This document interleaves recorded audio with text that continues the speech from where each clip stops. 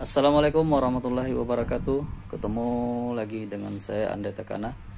Kali ini kita ada servisan TV LED LG Eh, Kerusakan eh, layarnya blank. Backlight eh, hidup ya. Backlight hidup. Di layar blank. Teman-teman uh, TV 43 inch ini ya. 43 inci. Eh 42 42 LB uh, 620T Oke kita langsung buka saja. Ya TV nya kita sudah buka. Uh, di sini ada power supply. Kemudian ini uh, mainboard dan ini tikon ya. Kita akan buka dulu tikonnya kemudian baru kita lakukan pengukuran. Ya teman-teman kita akan cek uh, kerusakannya. Uh, kalau TV seperti ini uh, kerusakannya yang harus kita cek itu kita langsung ke tikon saja. Uh, jadi tidak usah uh, power supply ataupun uh, mainboard. Kita harus ukur dulu di tikonnya itu pertama uh, PCC ya PCC di sini. Ada ya 11,9 volt atau 12 volt. Kemudian kita ukur uh, VGH VGH kosong. Jadi VGH tidak ada sama sekali. Bisa kita lihat sini ya VGH nya tuh teman-teman. Kita bisa perhatikan. Ini pin PGH ya. Itu ya.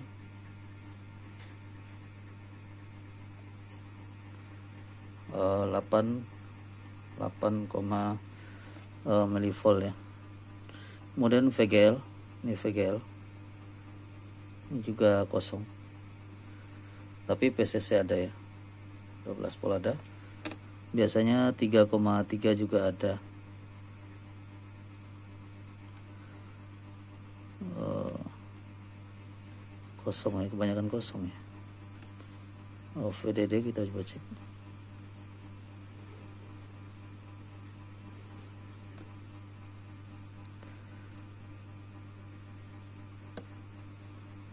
nol koma lima Oke teman-teman kita akan coba buka fleksibelnya ini. Kita antara kiri dan kanan terserah ya. Kalau mau aman teman-teman bisa matikan dulu. Matikan dulu sudah mati. Kemudian kita langsung buka satu.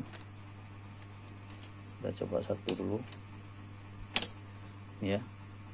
Kemudian kita uh, hidupkan kembali TV-nya. Kemudian kembali diukur. Tuh TV sudah hidup ya. Oke kita ukur kembali di VGH tadi ya. Masih sama. Tidak ada. Kita buka satu lagi. Dua-duanya. Kita buka. Fleksibel yang uh, ke panel ya dan kita hidupkan kembali.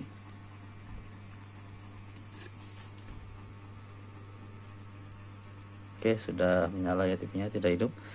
Kita ukur kembali VGH e, di sini tampil ya ada 27 volt. Kemudian VGL juga ada minus e, 4 kemudian tadi VDD ya. VDD juga ada 16 volt kemudian VCC ini 1,7 HVDD 8 volt ada. Jadi ke setelah kita buka yang sebelah kiri sebelah kiri saya tegangannya semua ada. Jadi kita coba pasang kembali yang sini. Kita pasang yang kanan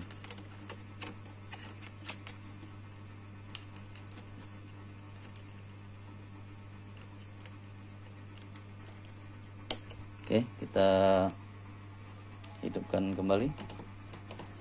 Apakah uh, tegangannya masih ada atau kembali hilang? Oke TV nya sudah hidup kita ukur lagi VGH masih tetap ada ya 27,9 volt.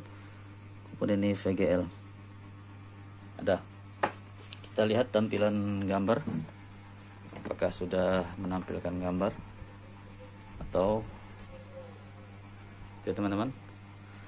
Bergaris. Kemudian kalau kerusakan uh, eh, TV yang seperti ini yang harus kita lakukan adalah uh, menonaktifkan salah satu jalur row-nya jadi jalur row-nya itu uh, sini ya antara kiri dan kanan. Di sini juga ada ditulis ini ya jalur row ya. CLK 1 sampai CLK 6 ini ini teman-teman perhatikan. Itu ada CLK 1 sampai CLK 6 ini jalur row. Berarti ini ya. Ini di paralel ke sini. Jadi yang kita harus tutup itu yang sebelah sini. Karena tadi setelah dicoba kita buka yang yang mana? Yang ini ya. Yang ini tegangan VGH VGL ada. Jadi kita akan tutup uh, jalur row yang sebelah sini dulu kita coba apakah uh, bisa menampilkan gambar. Jadi cara nutupnya itu kita menggunakan isolasi. Jadi teman-teman bisa perhatikan uh, berapa jalur yang dibu yang ditutup. Kalau saya jarang dihitung ya. Uh, yang jelas seluruh jalur row-nya ini saya tutup aja. Caranya saya menggunakan isolasi. Ya. Saya ambil dulu seperti ini. Seperti ini. Kemudian saya paskan di sini ya lepaskan. Kemudian saya tarik ke e, belakang seperti ini. Tarik. Kemudian saya buka yang bagian sini. Tuh ya. Berarti itu jalur yang akan saya tutup. Tuh. Nah saya bersihkan pinggirnya dulu ya. Kemudian kita lipat seperti ini berarti itu jalur yang sudah tertutup ya.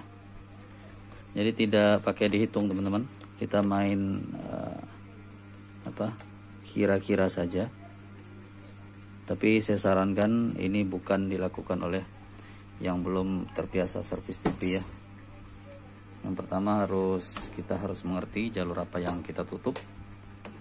Oke kita akan coba kembali TV nya coba ya. Apakah sudah bisa menampilkan uh, gambar atau malah tambah rusak ya. Kita coba. Teman-teman perhatikan. Ini kita ukur lagi PGH ya. Sudah ada.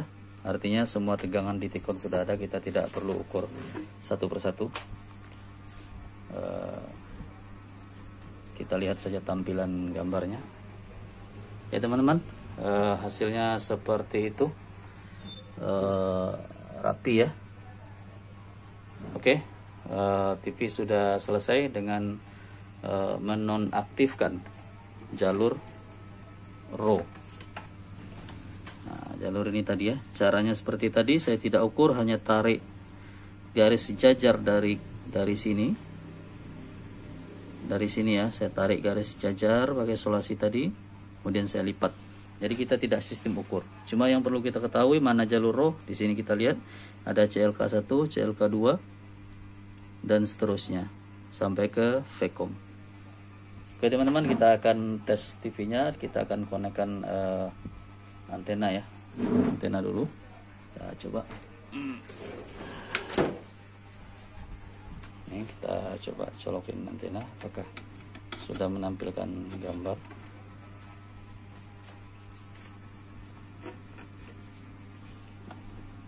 Ya. Coba. Oh. Sepertinya ada gangguan ya eh, siaran TV kabelnya. Kita akan pasang sensor dulu biar bisa di dirubah ya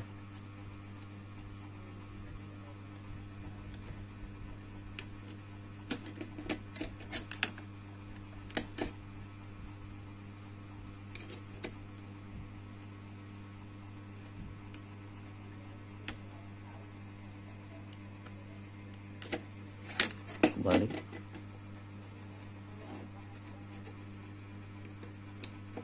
oke kita akan itu ya ya teman-teman seperti itu. Oke saya akan coba rapikan TV nya baru kita tampilkan gambar. Oke teman-teman TV nya sudah kembali normal ya.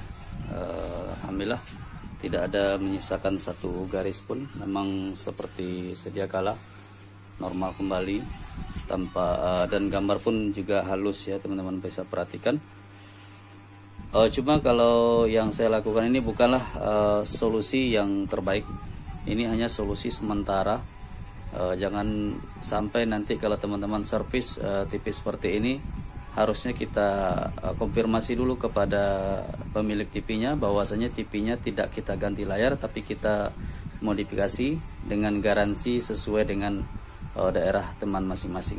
Jangan dikatakan ini solusi yang terbaik kemudian akan tahan dan bla bla dan lainnya.